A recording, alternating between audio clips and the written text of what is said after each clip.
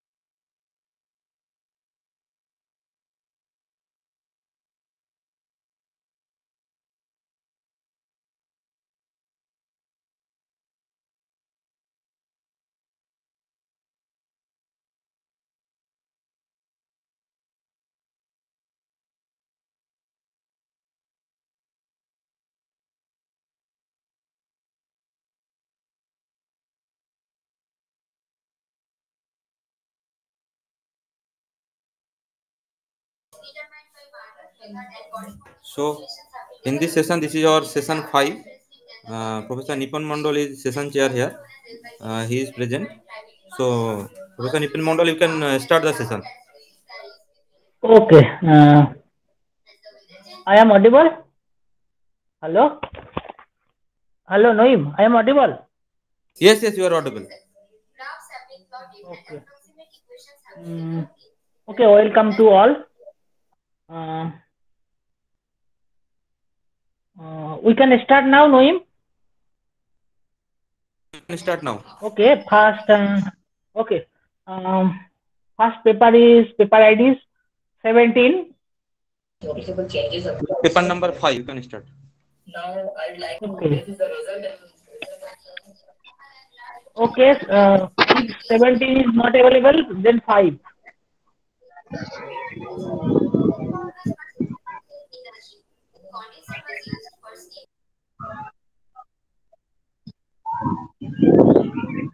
Is my screen visible, sir? Hello? Hello. Yes, it is visible. Thanks. Um, good afternoon, all. Topic of my presentation is drug type classification using logistic regression and decision tree based machine learning model. The paper ID is uh, 5, and I am Dr. Amit Chatterjee, independent researcher, uh, obtained PhD from IIT Indore. So this is the content of my presentation that include motivation and problem domain, basic theory, process flow diagram, data set, result and discussion, conclusions and references. So healthcare is one of the major industrial sectors that contribute significantly to the to enhance the economy and employment worldwide. Drugs and medicines are considered as one of the major pillars of healthcare industry.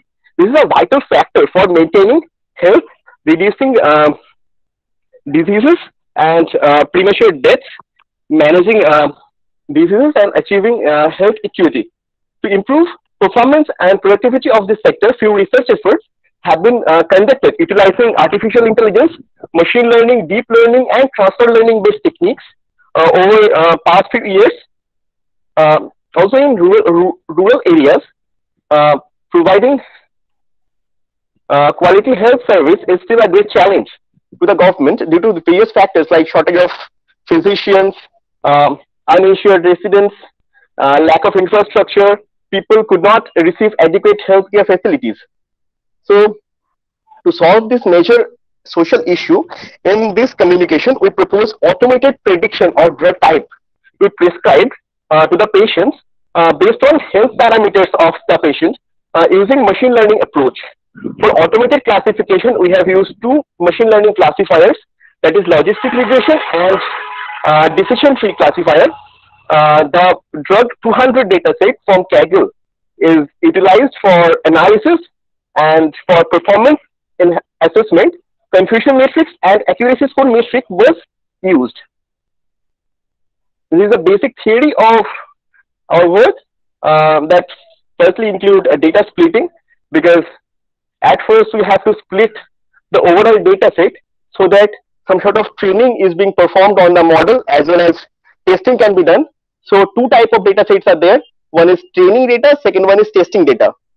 The training data set is used for uh, uh, training is utilized to generate experiences using which the algorithm learn to respond and test data set is used to estimate the performance of the model in conjunction with performance matrices. Uh, generally, more than 60% of the data is used to train the model and 40%, around 40% is used for testing. The commonly used ratio of train, training and testing is 80 is to 20, uh, 70 is to 30, 65 is to 35, and 60 is to 40. So next, the learning model. Uh, for analysis, we have used two kind of uh, learning models. One is logistic regression. Uh, second one is decision tree. The logistic regression is one of the simplest supervised learning classification algorithm used to predict the probability of the target variable. This algorithm have been used successfully for various classification problems like spam detection, um, diabetes detection, cancer detection, and others. As you can see from the figure, first regression model, most primitive regression model that was utilized, um, that was invented in the uh, very earlier stages of machine learning um, uh, development was linear regression. And if we use uh, exponential function to that linear regression, we get some sort of logit function that is well suited for classification applications. Uh, the next, uh, the next uh, model is the decision tree model. Here, uh, a tree-like structure um, is utilized for classification of different uh, different uh, factors. for example, in this figure, that people have classified um, the ages and they like whether they do some sort of exercises or eat pizza and others. In decision tree model, there are a few nodes and branches are there. The basic node is known as root node from where splitting is have started, and the the nodes uh, where uh, splitting have ended are called leaves. Like this is a confusion matrix. Uh, these kind of matrices are used for performance assessment. It's a summary of prediction results in a classification problem. Number of correct and incorrect predictions is summarized with count values and broken down by each class. So as we can see in the figure, there are predicted class and a true class. Based on true class and predicted class, uh, four different kind of predictions can be done. One is um, true positive, false positive, false negative, and true negative. And from all these uh, matrices, accuracy score is evaluated using the formula like true positive plus true negative divided by total. So this is the process flow diagram of the proposed strategy that first include acquisition of the data or utilization of data from some sort of database. And the next stage some sort of pre-processing and labeling is performed in, in MS Excel or other labeling softwares. And the in third stage data splitting is performed. Uh, and data is split into training data as well as testing data and the training data is used for learning purpose and the for learning of the model, logistic regression and decision tree is utilized. Next, after training the model, generalized uh, classification model is um, developed and we, in the next step, we can test the generalized model using the testing data. Uh, this is a data set that we have used from Kaggle. We have uh, five columns of the data set that is age, sex, BP, cholesterol, sodium to potassium ratio, and type of drug. drug. And the data type are like integer, object, object, uh, floating point, and the drug data type is also an object. And the pie chart representation of drug data set based on their cholesterol level, uh, sex, blood pressure, and type of drug is yeah. shown in the next figure. And uh, consecutive to uh, figures shows the joint plot representation and bar graph representation of sodium to potassium level and uh, people uh, count value uh, to the sex. So for calculations, we have used Python Jupyter Notebook version 4.6.4.1 uh, of Anaconda Navigator. In this direction, the type of different parameters were, were checked using Pandas head library function, it was observed from the value of different parameters were categorical. So we have used label encoder and fit transform operations to make it uh, numeric uh, so, so that machine can understand those values. The next uh, uh, train test splitting operation was performed where training and testing ratio was kept as 60 to 40 two classifiers, as we have discussed earlier, uh, logistic regression and decision tree were trained using training data and testing was performed upon rest of the data sets towards these classifiers were imported from the uh, respective library.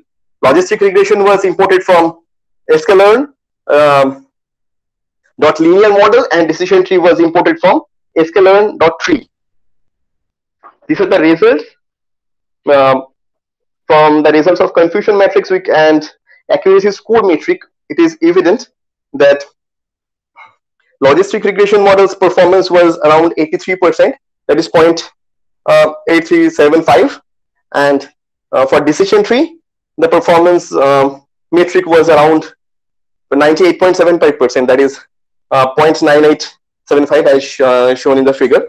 So from this comparison, it is evident that decision tree algorithm is far more better as compared to logistic regression for drug type classification.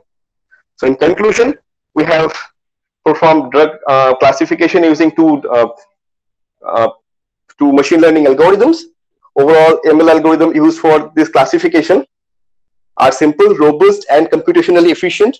Following uh, inferences can also be um, drawn from this investigation. The first inference is uh, application of ML for predicting drug type uh, prescribed to the patient depending on different factors is demonstrated for classification, logistic regression, and tree based ML algorithm was utilized. A dataset for, for classification was imported from Kaggle Drug 200 dataset. Train test split uh, ratio was kept at uh, 60 to 40 for classification of five different type of drugs. Logistic regression produced around 83.75% uh, accuracy, whereas decision tree produced around 98.75% accuracy. Hence, for multi-class classification, that is that uh, involve more than two uh, elements classification, decision tree algorithm provides uh, better results as compared to binary classification algorithm that is lo logistic regression. And these are a few references I have utilized to make the presentation. And thank you. Any questions are welcome.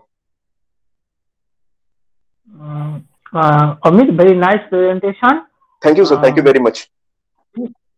Uh, any questions from audience? No question. That means Amit, we have Yes, chosen two algorithm. Uh, one is logistic algorithm, and another Decision tree. Decision tree, sir.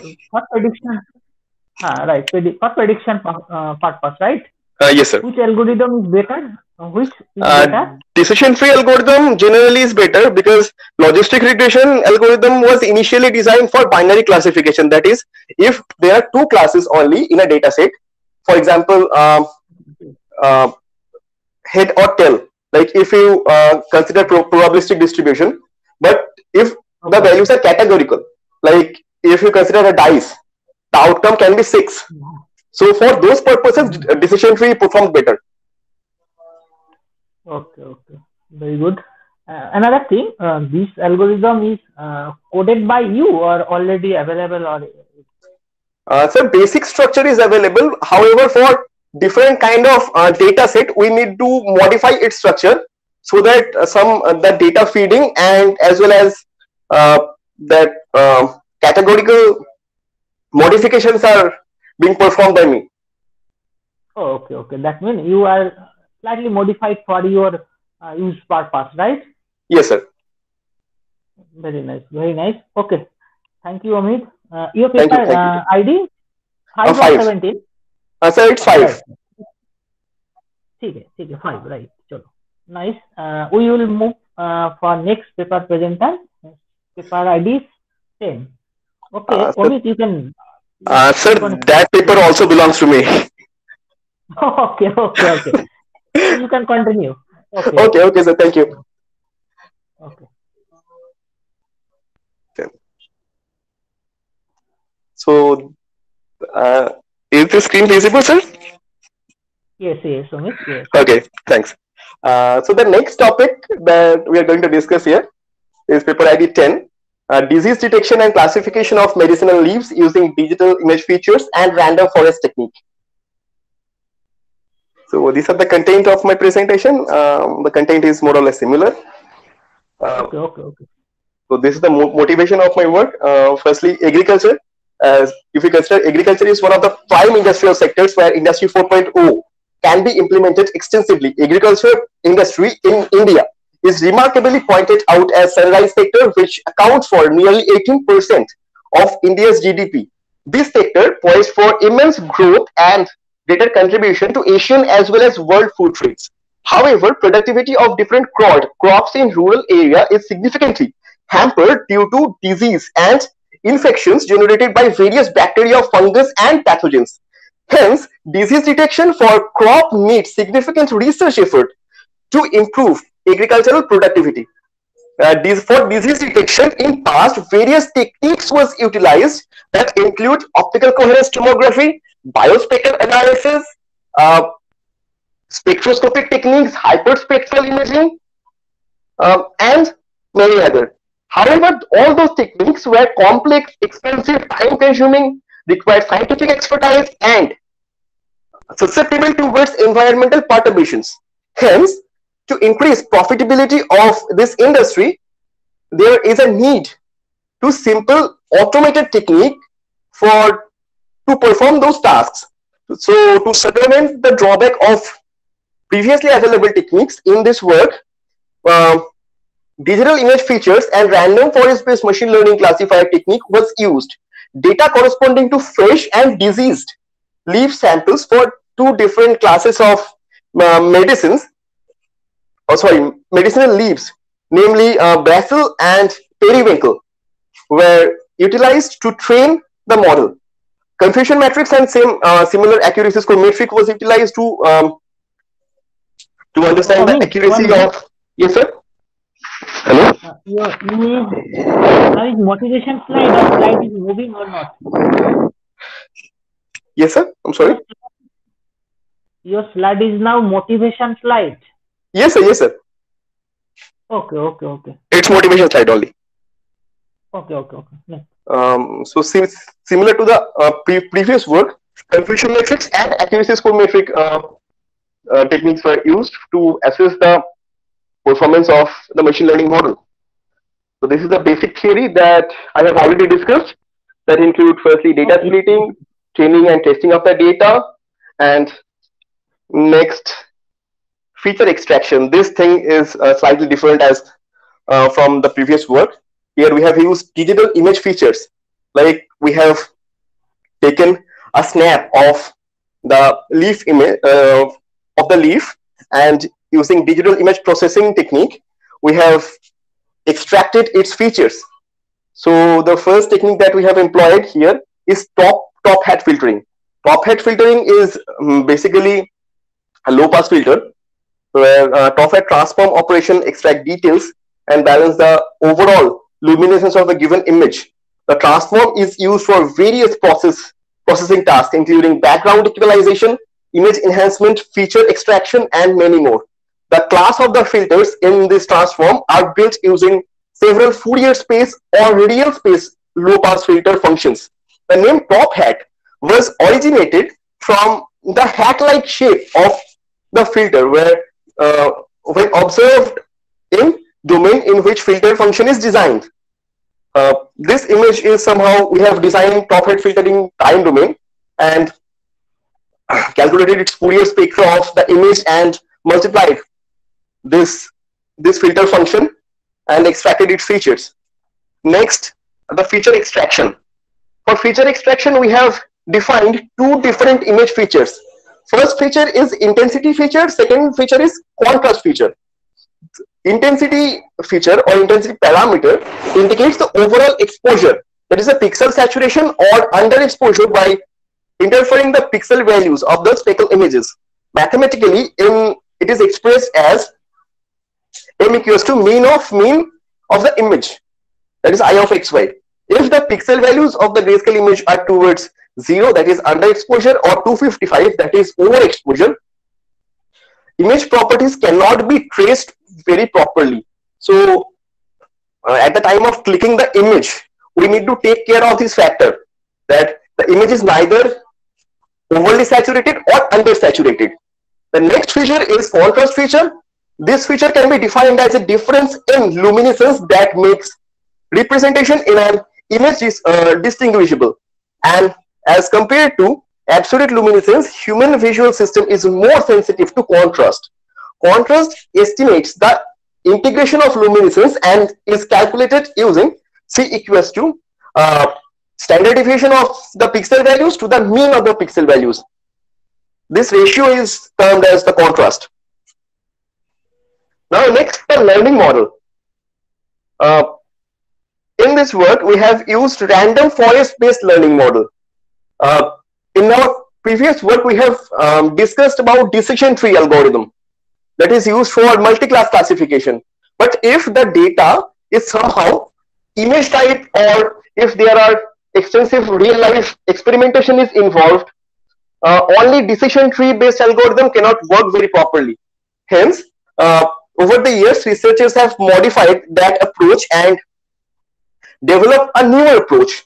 That approach is termed as random forest algorithm. In random forest, uh, n number of decision tree are cascaded one by one and for, from each decision tree, our classification score is generated. After generation of the classification score, majority voting or averaging is being performed to generate final result. Uh, as this uh, algorithm use n number of decision tree, its accuracy increases considerably. So this is a confusion matrix and accuracy score matrix. This portion is similar to my previous work.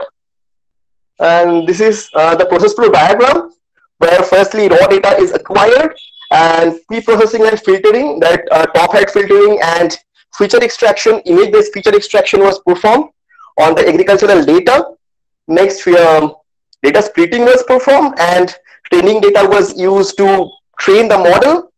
And finally, uh, finalized um, classification model was generated. And in the last step, to assess the accuracy of the model, testing data was utilized.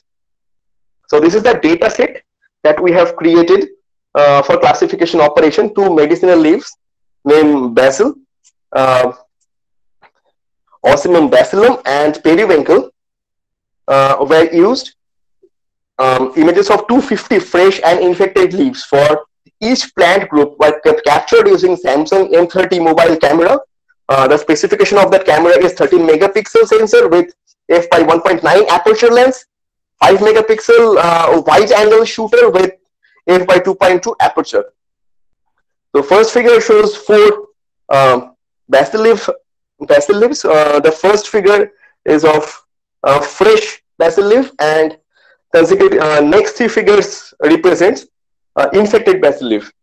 And the next uh, figure, in the next figure, um, the first image shows the peri, uh, periwinkle leaf, that is the fresh periwinkle leaf, and next uh, next three, that, that's B, C, and G. These leaves represent infected periwinkle leaves. So this is the results for our in investigation. First, those periwinkle leaves were uh, converted into grayscale, and then we have performed hat filtering from image A and B, it is very clear that after ut utilizing hat filtering, its intensity uh, distribution uh, is somehow uniform as compared to the preceding figure. Next, the 3D intensity distribution of the image is shown in the next consecutive, next consecutive images, where the first image shows a grayscale leaf in 3D, where we, we can see that uh, the background, background portion is somehow have very higher intensity as compared to the leaf structure itself that is shown from uh, shown using a red color. And after top hat filtering, the background is suppressed somehow. And next, the table is there to uh, distinctively define the fact, uh, different factors. Like for fresh basil leaf the mean intensity was in the range of 55 to around uh, 45 to 65 this is just one representation. And the contrast value was around uh, 0.36 to 0.31 and for infected leaves uh, the mean intensity value was around 100 to 115 and contrast value was around point uh, 10 to 0.17 and similar distinctive uh, uh, similar distinction was observed for periwinkle leaves too. And next this is the confusion matrix for basil leaf and periwinkle leaf. Like after extracting all those features image features we have fed those features to the machine learning algorithm uh, that is random forest based algorithm and for both the cases we have uh, observed the confusion matrices where the first matrix correspond to basil leaf and the second uh, matrix correspond to periwinkle leaf. The random forest classifier was trained using the training data and testing was performed uh, on rest of the data set. Towards this classifier was uh, imported from sklearn.ensemble library. Like for um, decision tree, the library was sklearn.tree and for uh, random forest, the library was sklearn.ensemble. Next, instance of the classifier was created and the fitting was accomplished using uh, independent training dataset that is xtrain and dependent training dataset that is ytrain. For testing of the model, predict method was utilized. For performance evaluation of the model confusion matrix, as we can see here, is um, was calculated and confusion from confusion matrix results we have also uh, acquired um, the accuracy score. The score was 91% for basil leaf and 89% for periwinkle leaf. So in conclusion uh, for prediction of leaf quality a combination of machine learning digital image filtering feature extraction techniques was utilized.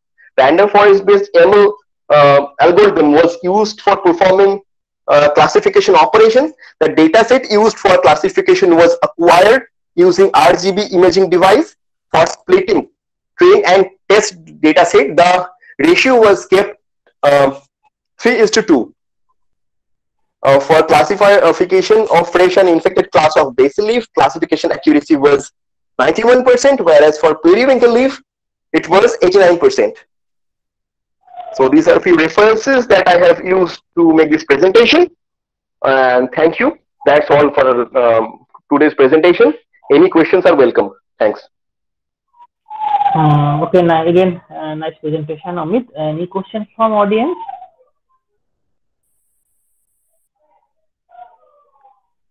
Okay, no question. Uh, very nice, Amit. Okay. Thank you. Thank move, you very much, sir. Uh, I have no question. Very nice. Uh, uh, we'll move the next paper presenter, uh, 38. Paper ID 38. Yes, sir. Good afternoon, sir. Oh, good afternoon. You can start. Take to time 10 minutes. Okay. Okay. sir, it is visible, sir.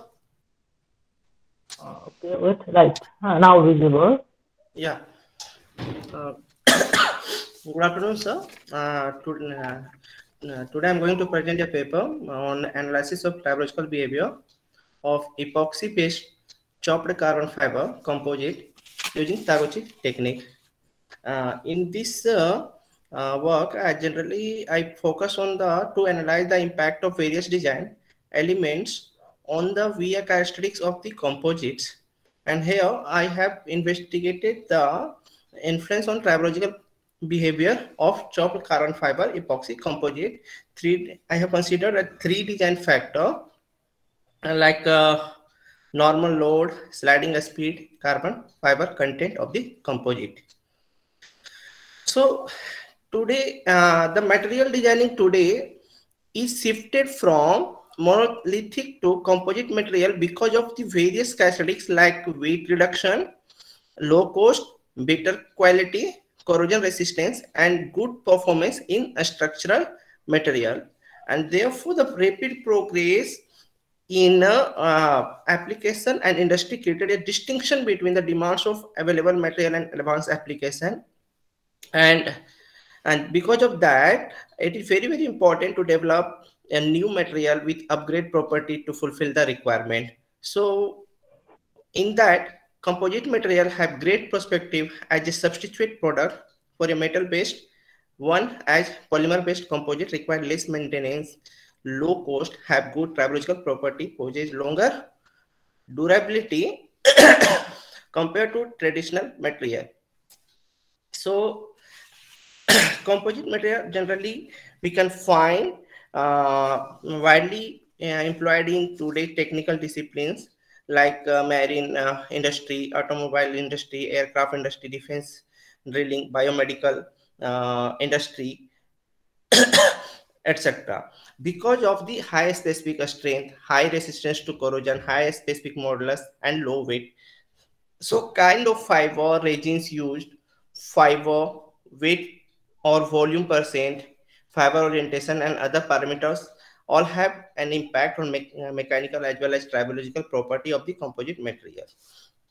So they are the various fiber like glass fiber, uh, carbon fibers, uh, natural fiber. But here I've taken, I just uh, chopped reinforcement, I just chopped the carbon fiber and matrix at epoxy, araldite, LY556 uh, with hardener HY951 and used as a matrix material in this study and to initiate the appropriate mixing and exothermic reaction. So araldite LY556 was mixed with uh, hardener HY 951 in 10 is to 1 proportion and stirred for about uh, 20 minutes and the fabrication is done uh, with the hand layup method in different contents of fiber reinforcement and we can see this is the details of the composite sample uh, sample what i have prepared. So uh, this is the preparation of the composite. So the level uh, i have chosen like normal load uh, unit is newton uh, 20, uh, uh, 20 Newton, 30 Newton, and 40 Newtons. Sliding speed 0.6 meter per second, 0.8 meter per second, and 1 meter per second. And the fiber content uh, vary from 30 to 50, um, 30%, 40%, and 50%. And uh, after the epoxy is lapped on the chopped carbon fiber uniformly, the full assembly is squeezed in a uh, hydraulic press and kept at room temperature for 20 minutes, uh, 20 hours to allow uh, the surplus resins to entirely eliminate the entrapped air bubbles. And after that, post curing is done. Uh, so at ambient temperature for 30 hours after demolding of the composites. and the basic objective of this paper to use the ANOVA technique to find the most significant parameter by examining at the influence of process variable like load, speed of the slide, content of the fiber, mostly on wear and friction behavior of carbon fiber epoxy composite. So uh, this is the uh, friction and wear test were conducted using a rotating pin on this tribometer under dry sliding condition. So Taguchi technique uh, uh, has been used and which is one of the most widely used for improving the efficiency of various mechanical uh, and tribological property. And uh, the L9 orthogonal array was selected, chosen, and with the understanding that degree of freedom of orthogonal array must be greater than or equal to the total wear criteria. And the wear rate and coefficient of friction were the response variables to be investigated and the tests were carried out according to the run sequence of Taguchi model and thus the results are obtained. So generally the experimental data was analyzed with the help of uh, Minitab 18 program and generally it is built for the analysis of experimental data and transfer to signal to noise ratio. And in the existence of uh, noise, the SN ratio will determine how the predictable a product or process is. And generally, uh, for the wear rate and coefficient of friction based on the smaller is better uh, uh, has been chosen based on the, this principle and calculated using a logarithmic conversion of the gradient descent. And this is the um, formula which has been used S by N signal to noise ratio is nothing but minus 10 log 1 upon t summation of 1 is equal to 1 to t ri square. Now, these are the various parameter level and this W load, V velocity, FBCE fiber content and WR is wear rate and SNRA after uh, putting this value code from the uh, experimental data and after the experimental data when we have run in the uh, Minitab uh, for the we got SNRA1 for uh, wear rate and these all data we have calculated and this is the value of coefficient of friction which has been run for various parameter and labor uh, in experimentally. Then after allowing in Minitab analysis and overall analysis, we got the SNRA2. These all are the value for we can see here. Now, this is the graph for wear. So this is the means of hello hello Ah, ah, ah. Audible, audible. Dharmendra, continue, continue. yes sir sir this is after analyzing these taguchi design i will i got a graph like this and in this graph which is plotted for means of means in previous case so this is the peak point adding the corresponding level and dividing by the three. Why are we dividing the three here? Because we have selected uh, we have chosen the here three level only. So we have divided the corresponding value by 3 and we get as this graph. So similarly the low value is uh, completed. And based upon that all the value like between we can found it here from 0.003 to 0.008 for uh, for various parameter like load sliding speed and fiber content. And this is the graph which has been plotted for the SN ratio, signal to noise ratio, and the plotted value we got we got from the 42 to 50. Uh, the between the value got from 42 between to 50, and signal to noise is uh, is the framed by Taguchi, and we have to here we have to reduce the noise, and it should be close to zero level, whether it is positive or negative. So here we have chosen signal to noise, a smaller is better. Why I have chosen the smaller is better? Because the wear rate and the coefficient of friction should be minimum as to minimum. Now, and this is the ANOVA table what we have got it. So the this is the uh, DF is nothing but degree of freedom. SU key uh, sequence SS is nothing but sum of sequence sum of a square. ADJ SS is adjusted sum of a square. ADJ MS adjusted mean of a square. F is interpreted F. So DF. So how we got uh, D value uh, D of DF is two as a two. So total the parameter is three and three minus one uh, is two. Uh, so they have degree of freedom load a 2 sliding speed 2 uh, fiber content 2 and the total is uh, total parameter to- uh, we have seen from the, when we have seen in this here that the total parameter is 9 so 9 minus 1 is 8 so total total uh, degree of freedom is 8 so 2 plus 2 plus 2 minus 2 will get the um, 8 minus 6 is we will get the residual error. So this is the uh, sequence uh, sum of the sequence uh, what we have got it after the calculation using the uh, ANOVA. And uh, this is the factor. Uh, so interpreted f value. So how we got the this integrated f value? So sequence ss divided by residual error we got the interpreted f value.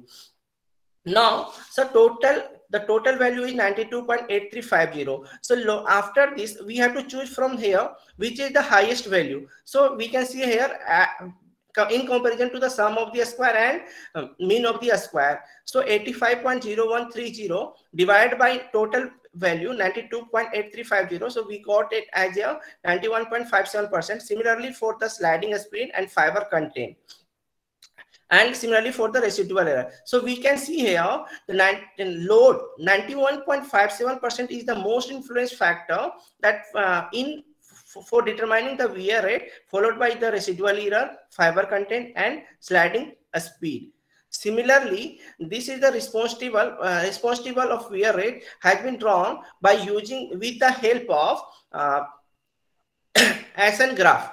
So we can see here, and from here mostly we can find out that this is the delta value, and this is the rank, and the rank is a delta is nothing but maximum minus minimum. We can see here the maximum for the load is uh, level one is 49.87 and the minimum is 42.37. After subtracting these two values, we will get the uh, 7.53 as a 7.53. This is the delta. Similarly for the sliding speed and fiber content. And from here, we can find out this from the delta, we can see that the most influencing factor is the load, then fiber content, then sliding speed. Similarly, the graph of the means of the means for coefficient of graph, uh, uh, coefficient of friction has been plotted using the uh, Taguchi analysis. And we can see here the value means of means uh, is in between of 0.6 to 0.72 for the load and 0.6 to 0.68 uh, for the sliding speed and whereas for the fiber content 0.62 to 0.68 these are most uh, the means of means value pointed. Now this is the graph for SN ratio for the coefficient of friction where yeah, it is uh, from nearby 2 to 4.6 for the load and the value corresponding value comes under 2 to 4.6 and the, similarly for the sliding speed and the fiber content weight ratio. And these all are the analysis ANOVA analysis of SN ratio has been found using the uh, soft uh, with the help of ANOVA analysis. Mm. and we can find out here the sequence as a sequence of sum of a square value. Uh, Dharmendra, yes sir. Not dictate. Uh, you can skip this. Next year, time is. okay sir So then after that, the regression equation has been calculated, the wear rate. So wear rate, as these are the, the constant value and it mainly depend on the factor like load, sliding speed and fiber content weight ratio. On calculating, we can get it. The uh, regression sequence is as a 90.50 and as adjoint 84.7 and, and predicted 61.34. Similarly, for the coefficient of friction, we, we calculated over here. Then confirmation test, sir so confirmation test uh, actually Uh, uh, is the final stage of the Taguchi analysis and where Taguchi analysis was performed to discover the best value of parameter in above table which in a previous slide which I have mentioned and the confirmation test were conducted using the arbitrary mixture of variable with A3, B3, C3 representing the wear rate and A3, B3, C2 representing the coefficient of friction and these are the two equations which has been used for the wear rate and coefficient of friction uh, uh, respectively used to calculate the projected S by N ratio. So from here this table we can compares the expected wear rate and frictional force to, uh, to the observed response and difference between the actual and anticipated uh, SN ratio value is computed. And uh, the wear rate has been pro, uh, has been predicted error as a 6.829 percent while the friction coefficient uh, has been uh, computed as 5.016 percent. And this demonstrates that the anticipated value are accurate. So calculation. So in this work, the study primary purpose was to fabricate the composite of chopped carbon fiber epoxy composite. Further, uh, tribological testing was carried out. Uh, then the Taguchi design of experiment was used to examine the COF and dry sliding wear of uh, epoxy composite under various weight and sliding speeds and it has been found that the applied load influenced the wear rate and uh, coefficient of friction by 91.57% and 68.66% respectively. And the SN ratio was computed using the best testing parameter for wear rate and coefficient of friction and found that anticipated and observed that both wear rates and coefficient of friction were almost identical. Thank you, sir. Okay, mm, nice presentation, uh. Thank Any question from audience? Uh, any question from audience? Okay, Dharmendra, um, you go to your uh, table number one or two. First or second, most probably. Uh, Yes, sir. Not, not, uh, not. Just uh, right, right. Experimental parameter. Uh, I understand that you have chosen three uh, parameter and there are three level of variation. That means you chosen uh, uh, half, not full factorial, uh, L9 orthogonal array. Yes, sir. Then you perform on the experimental uh, work. Then input this experimental data in ANOVA uh, Minitab. Then uh, analysis has been performed, right? Yes, sir. Okay. And uh, find out your influence uh, parameter, which parameter is most influence, uh, right? Yes, sir. So, so my question is, um, which uh, combination of parameter is uh, suppose minimum mm, your wear rate or something Sir, which actually, here, sir, load is the most predominant factor which is affecting on wear rate as well as the coefficient of the friction. And then for the wear rate, fiber content is there and the sliding sliding speed. So we can see So as I have mentioned over here one sir. L9 L uh, second table second table uh, experimental L9 Yes, sir. right right. L9 exper- uh, in which combination you can say which parameter is most affecting for uh, wire rate or something Yeah. wire rate or something In this, sir, we can see the sir 20 Newton load 0.8 uh, 0.8 meter per second with 40% of fiber, uh, fiber, the wear rate influence more, sir. We can see at the highest value for the wear rate is 51.24499 signal to noise ratio. okay okay and whereas- and whereas for the for the coefficient of friction, the load, uh, we can see here, this slides up. Uh, mm -hmm. This mm-hmm. slides have only 5 point, so 20 newton load, 0 0.6 uh, meter per second with 30% of velocity, uh, means fiber content. It influences 5.325785, sir. Okay, that means okay, FM R1 uh, twenty eight forty and SNR two twenty six thirty. Okay. Hmm. Okay, Dharmendra, okay. Uh, thank you. Oh, nice your presentation. Uh, okay, next we will move our next paper, next paper presenter. Paper ID is 38. Okay, thank you, sir. Okay, uh, 38.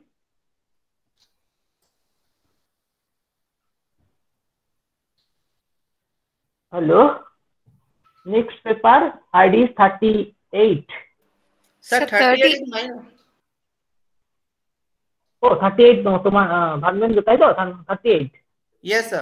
Forty nine sorry sorry forty nine forty nine sorry forty nine Hello, sir. হ্যাঁ হ্যাঁ হ্যাঁ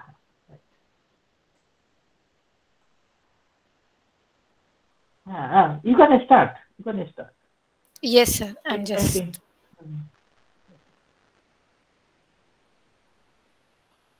I hope my presentation is visible. visible but color is very difficult. Okay. Okay, okay, okay. Huh, okay. Oh.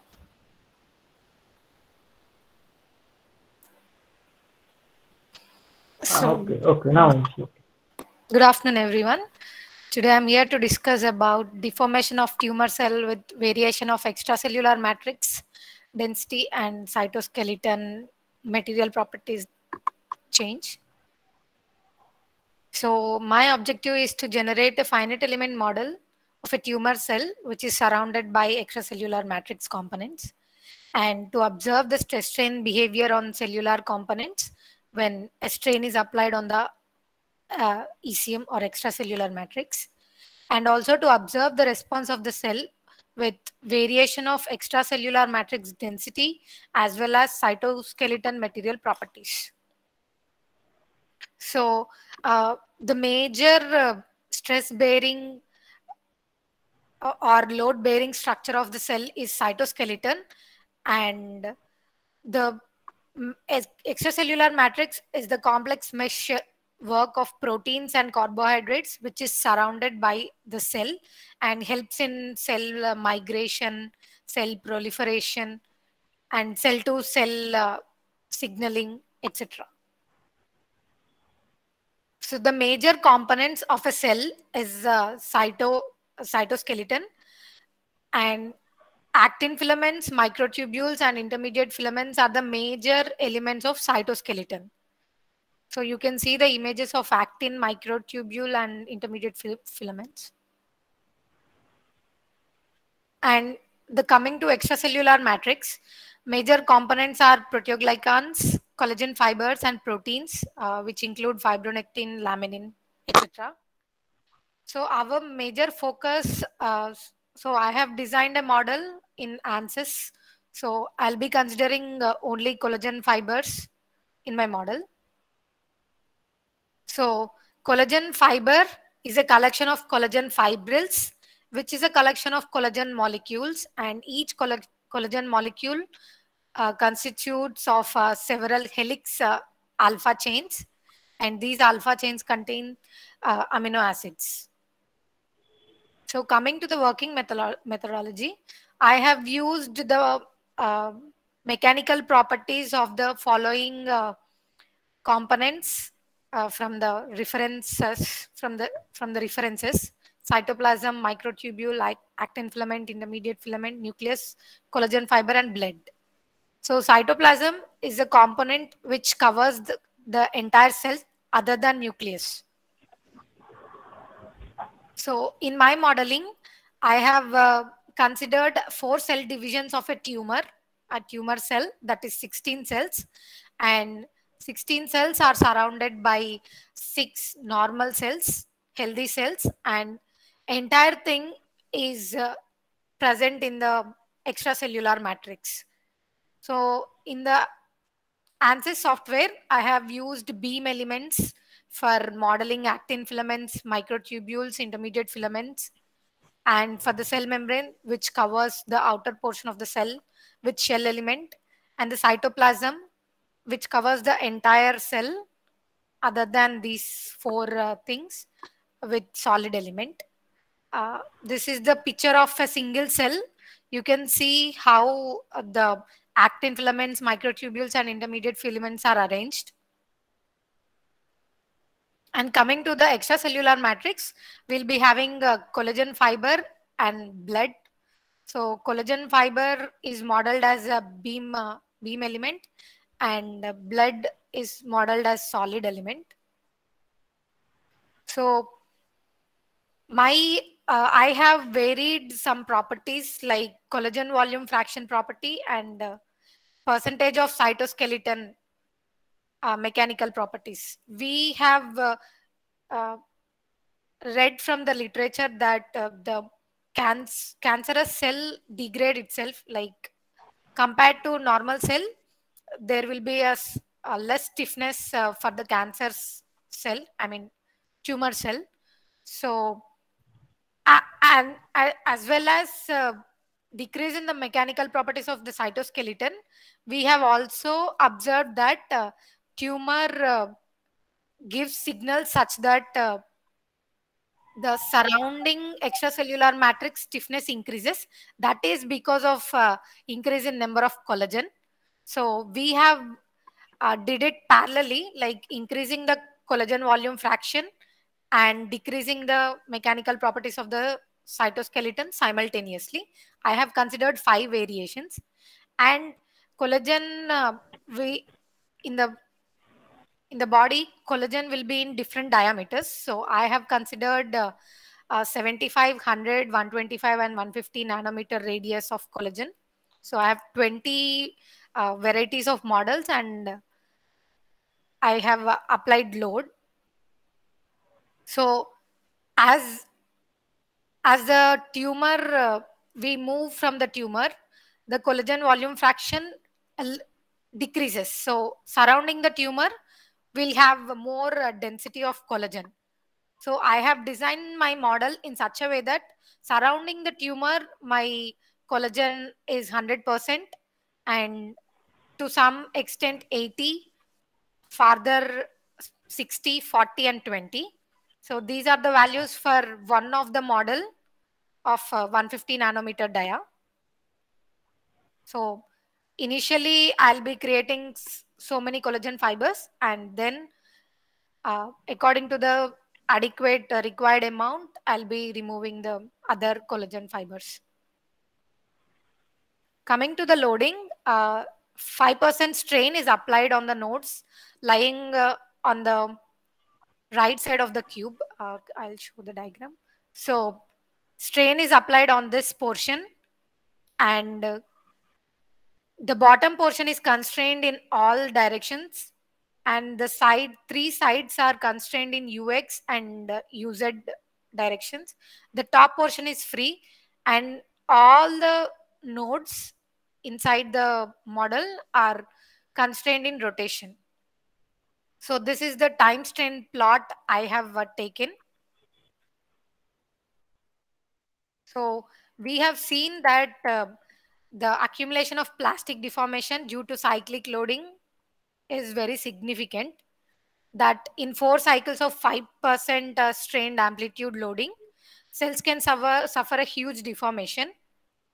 And once the cyclic load reaches the plastic zone, each subsequent uh, loading cycle enhances the cumulative accumulated strain in each cycle, leading to the change of uh, change of the shape of the cell. So it can be concluded that cyclic loading plays a vital role in the shape change of the cells and to achieve cell migration. Uh, the percentage of deformation is also dependent on the mechanical properties and surface properties of the substrates. So it is observed that cells undergo more deformation as the collagen volume fraction increases around the cells. It is also observed that cells undergo more deformation when the uh, radius, uh, when the collagen diameter is increasing. So this is one of the image uh, taken from the results. It is corresponding to 0.015 collagen volume fraction of a 150 uh, radius, I'm sorry, radius uh, of collagen. So our future plan of work can be uh, cyclic sinusoidal strain can be applied. And I have considered four cell divisions. Uh, so we can consider more number of cell divisions. And in the actual condition, the arrangement of cytoskeleton is dynamic and it aligns with the force direction. Uh, so actual dynamic model can also be considered for future work. So these, these are the references I have used. And thank you. Okay. Uh, nice presentation. Any question from audience? Um, I have questions. Uh, audible? Yes, sir. Yes, you are, sir. You are uh, present for 2D beam elements, right? Yes, sir. And performing and ANSYS APDL or workbench? Uh, APDL, sir. APDL. Okay. It is possible uh, to 3D analysis or something? Sir? Possible 3D. 3D? You are choosing 2D. 3D is possible. Yes, sir. Uh, I have shown the 3D model only. Just a second, I'll share. So, this is my model, 3D model. Okay, okay. This is your Uh, 3D model. Uh, the beam elements. Uh, condition- so these are Oh, the beam, beam elements. element. These are Oh, the beam, beam elements I'm using. Uh, will form a Okay. 3D mesh network. Okay, okay, okay, okay, okay. And boundary condition? Uh, boundary conditions are this. Like strain is applied on one side of the uh, cube and other three sides are constrained in uh, horizontal directions. They can move uh, in the vertical direction. I mean the nodes and the bottom Okay. surface is constrained in all directions. Because we have uh, a circular, like cell is in circular shape, we have assumed. So there will be rotation uh, miscomplications. So we, I have constrained uh, rotation for all the nodes. Okay, okay. I mean, I have used shell elements and beam elements. So I've constrained uh, rotations in all directions for all the Okay. nodes. Okay, understand. Nice, nice. Uh, nice. Um, so we move to next uh, paper. Paper ID 52. Hello. Uh, paper ID 52. I am here, sir. I pay, I will pay, sir. Okay, okay, Sujoy. Uh, okay, you can start. Take time 10 minutes. Okay.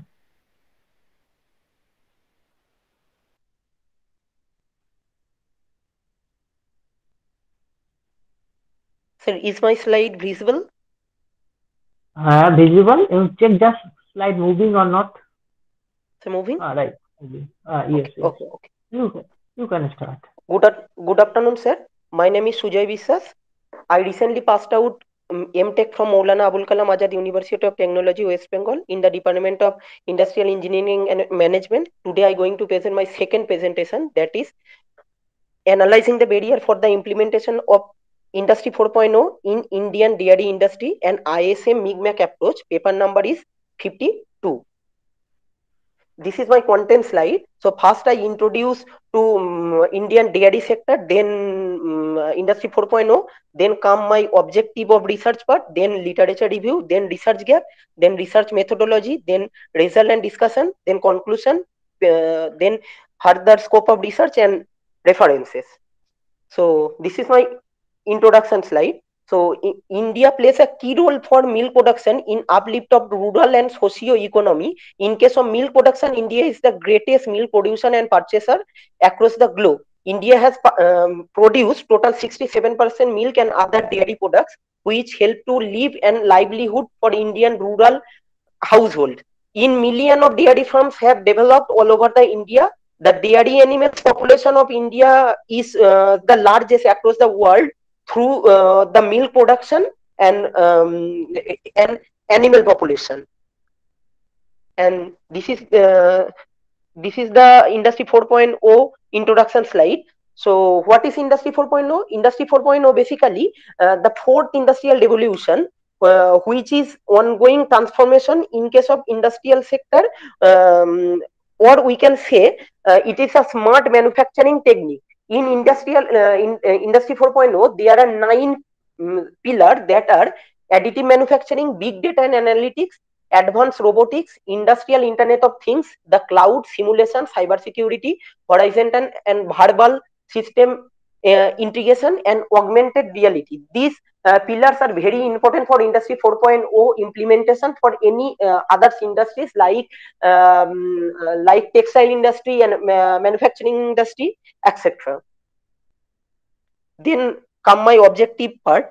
So in this work my objective is to identify the important barrier for uh, implementing industry 4.0 in indian dairy industry. Next to identify the mutual relationship between the barriers uh, then to identify the driving and dependence power of the barriers uh, to implement the industry 4.0 this is the re uh, relevant literature uh, for my topic. So according to the all references in this slide I, uh, ISM fuzzy MICMAC approach has been increasingly used by various researchers for identifying the key barriers to implementing the industry 4.0 in different industries researchers promote this tool is a best decision making tool for identifying the significant barrier for manufacturing industries textile industry mining industry coal industry etc and according to the world references in this slide uh, many of the researchers um, implement uh, this technique for uh, their uh, SMEs means uh, small medium enterprises uh, for identifying the significant barrier to implement Industry 4.0. Uh, in New Zealand, um, most of the dairy farms uh, install this automation technique for uh, improve for improving their productivity and quality purpose. With the help of this um, uh, smart technique, smart technique they will be get benefited uh, and uh, with the help of this uh, is industry 4.0 Uh, implementation they work uh, with automatic cup removal automatic milk quality assessment and card settlement process etc and now i coming to uh, research gap part so based on literature study, I found one paper. The title of the paper is Benchmarking the Interaction Among Barriers in Dairy Supply Chain and ISM Approach. Basically, in this paper, the author identified the eight barriers. The name of the barriers are wastage due to leakage of soft floor, high product uh, production downline, outdated technology, etc. But they did not work on the implementation of Industry 4.0 in Indian dairy industry and the number of barriers could be extended. Hence, in my paper uh, work, I address greater number of barriers for implementing Industry 4.0 in Indian dairy industry, and I also work with um, identifying the significant barriers. Next, I come with uh, methodology part. So ISM uh, methodology first proposed by Warfield in the year of 1974. It is the uh, best um, decision making tool for identifying the relationship between the barriers uh, and in in ism methodology there are uh, several steps like SSIM, IRM, FRM, um, label partitioning, and um, ISM based model making. So this is my flowchart diagram. So first I study some uh, literature review. Uh, with the help of literature review, I collect some barriers. Then I physically visit some dairy industries like Metro Dairy Barasat, Mother Dairy Dankuni, and nearest dairy farm in my home. And with the help of some uh, expert suggestion, they identify the uh, they identify some barriers which are uh, the relevant for my topic. And then I apply ISM technique with the help of uh, several uh, steps I previously I explained and then I come my conclusion part. So ah. this is the first step. Sujay, Hello. Sujay, quick cover, quick cover. Okay. Sorry, sir. Yeah, quick, quick cover. Okay, okay, quick. okay, sir. This is the uh, first step of SSM. There is four symbol. With the help of this symbol, I make this table.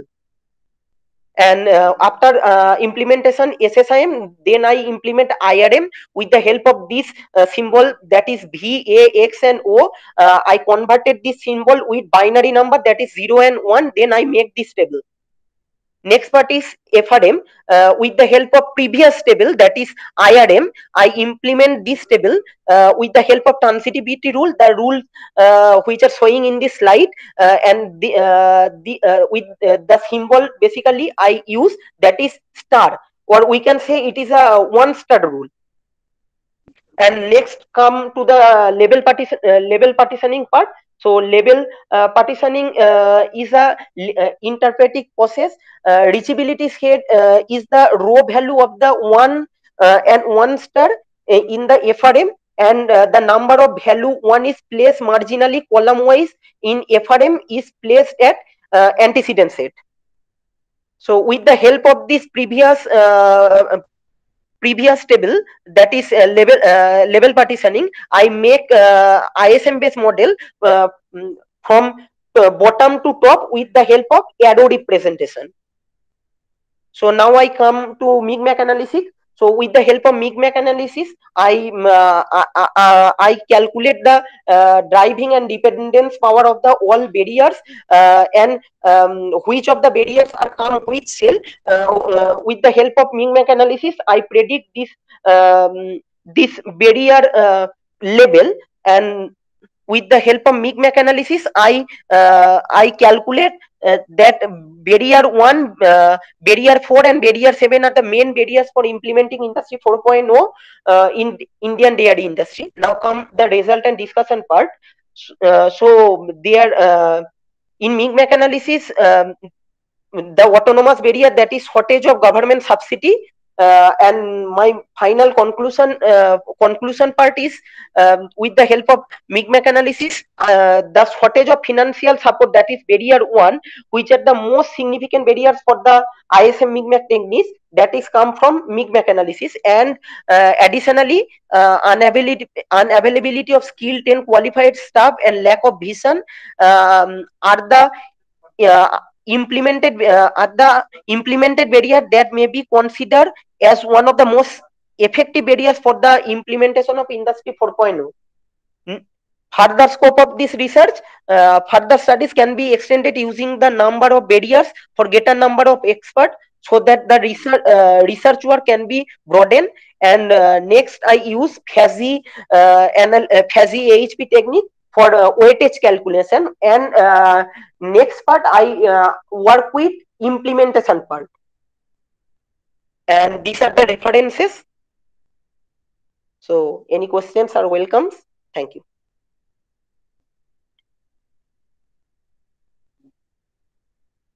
hello hello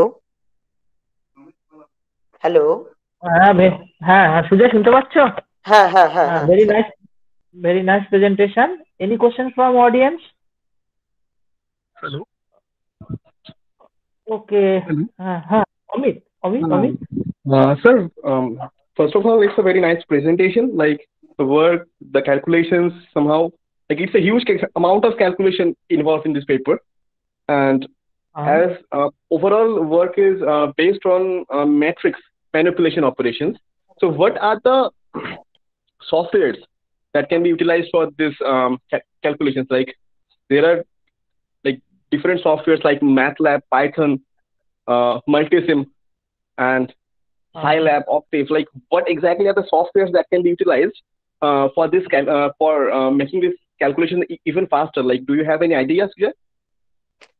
Actually, Uh, I uh, work with ISM. Hello. Yes. Actually, I work with ISM MICMAC technique, but uh, in future, I work with MATLAB or uh, any uh, Python programming for implementing these ideas. But uh, recently, I don't have any ideas for uh, uh, implementing this Industry 4.0 implementation. like somehow what you have done it has a huge impact on like recent government initiatives like digital india startup india because if people are able to distinguish different kind of barriers it is very like it will be uh, like easier for them um, Mm. to um, uh, overcome the problems Hmm. so it's a very nice approach indeed so please try to uh, think over the automated automated applications like yes, somehow now you are doing manual calculations that is great yes, but yes, with automation things will be like somehow better e- even better yes, yes. yes. Um, very nice suggestion. Uh, try to incorporate uh, Sujoy. Okay, okay, sir. Okay, sir. Okay. Uh, now we will move the next paper. Paper number is 17. Paper number 17. You can pre- all right. You can present. Yes, hello colleagues, and congratulations from Ukraine. Okay. Okay. You can now start your presentation. Okay.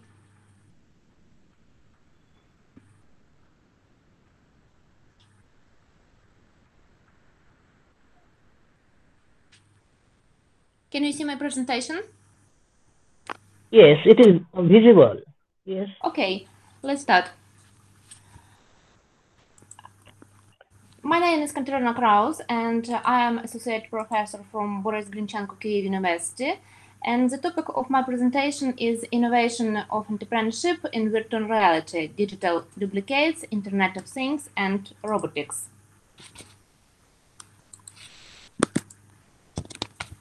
In modern business in Ukraine are widely used uh, technologies of information, uh, system, internet, invoicing and sale of goods on internet, electronic payments, electronic tenders, electronic card payments, and more others.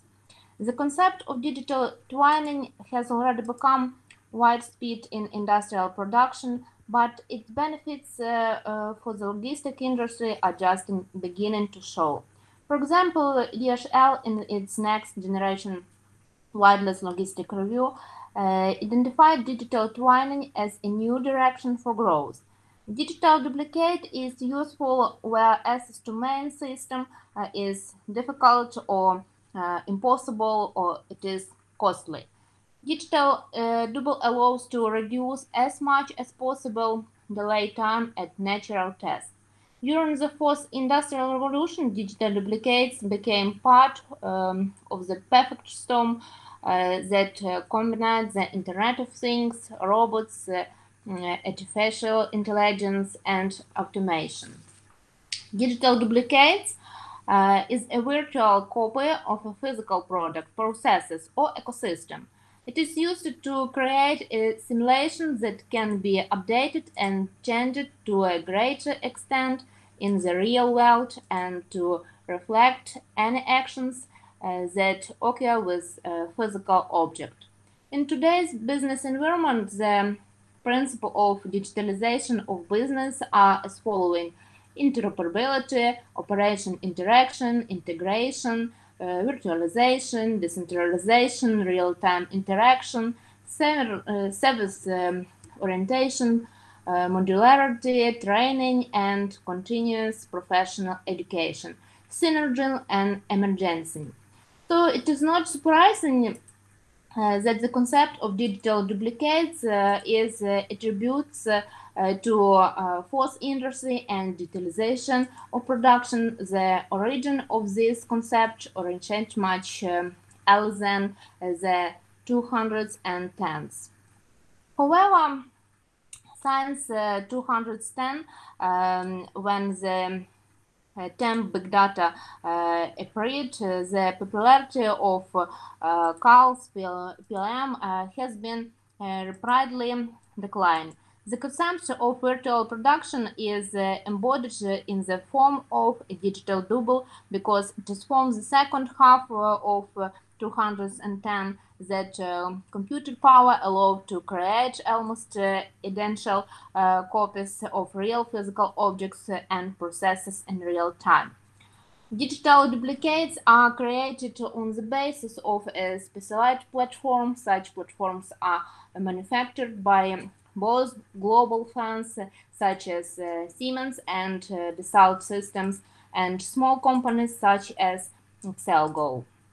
Digital enterprise offers uh, tangible benefits uh, through the operation of digital duplicates, with uh, which are a virtual representation of uh, uh, the actual system. The creation of a digital duplicate um, takes place uh, at the digital stage of a new system. After that, the, as the object is um, completely uh, designed uh, a static model a model uh, of digital dual dive device is created uh, on the basis of CAD models uh, in the CAD system or 3D models of objects. Uh, it essentially describes the architecture of object, the location of the system equipment in the workspace. In the next stage, the static model comes to life, describes uh, the workflows uh, moving to a dynamic model system. This is not just a visualization of uh, uh what is happening in the system. A digital dual must um, reproduce systematic control in the same way uh, as a physical system.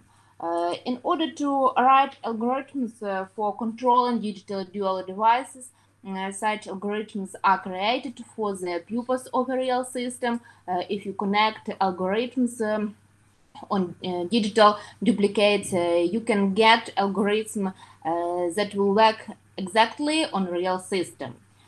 Uh, in a sense, digital duplicate is a model of a real-time system that provided a virtual representation of physical assets. Um, in the next slide, you can see um, advantages of using digital model of duplicates and the facts, uh, factors um, that should be uh, considered before uh, its implementation. Uh, some of advantages are operation assessments uh, of risks and um, production time, uh, improving interaction within teams, intelligent services, improving digital decision decision making process and uh, uh, remote real time uh, motivation. in addition, digital duplicate uh, is not limited to collecting data, updating during product development and manufacturing, uh, but uh, continues to collect and analyze information throughout the life cycle of um, a real object. your example using Internet of Things devices. Factors to consider before implementation digital duplicates in virtual reality you um, can see in um, this slide. Uh, some of these factors is um, update uh, data security, uh, photos, team training, and data quality management. Um, future, uh, features uh, of the implementation of project um, uh, involving during duplicates in terms in virtual reality in terms uh, of stages are disclosed in um, set table. There are four stages of the project. First, technical, second, financial, third, terms of design with um, participation of digital duplicates, and the last, improving the quality of design. Digital duplicate can be uh, through as a virtual uh, prototype uh, of a real object uh, or processes uh, that contain uh, all the data about it, including history and information about the current stage. The criteria for digital duplicates are given in table 4. These categories are duplicate, prototype, and aggregate double. Success uh, scenarios for the introduction of digital duplicate technology in different sectors uh, of the economy are presented in next slide. The um, ultimate goal of digital duplicate in manufacturing industry uh, is to create a closed feedback uh, uh, loop between virtual and real production through the use of the right digital infrastructure. Due to this uh, connection, the duplicate characterizing uh, of um, real production allows uh, to develop an optimization scenarios in virtual production. After uh, successful modeling and implementation of these scenarios, the cycle begins again. Some of this successful experience um, uh, in Ukraine, uh, we can see in uh, the energy sector, uh, sphere of uh, hospitality and service, urban environment, retail, and healthcare. in production, it is um, worth noting that new technologies help companies reduce costs, increase productivity and efficiency, as well as optimize maintenance. Uh, in particular, uh, it is the technology of digital duplicates uh, in combination with tools and machine learning and um, artificial intelligence allows to achieve this without um, compromising workforce. with the Connect, uh, digital technology makes uh, it possible not to stop the line to uh, test a new element. Therefore, um, for manufacturers, the technology of digital duplicate is important not only to improve efficiency, but also to bring the product to market faster. Thanks for your attention. Uh, very nice presentation. Uh, thank you for contribution your research in our uh, conference. Uh, Any questions from audience? Okay. Uh, thank you, ma'am. Thank you. Thank you for nice your presentation. Thank you. Uh, uh, thank you for again once again. So there is no any paper today. Uh, we are completed today paper presentation. Uh, so last I uh, again Thanks for uh, participation in our uh, conference. Uh, thank you, thank you, thank you very much. Okay. Okay. Mondol, you can okay, we can.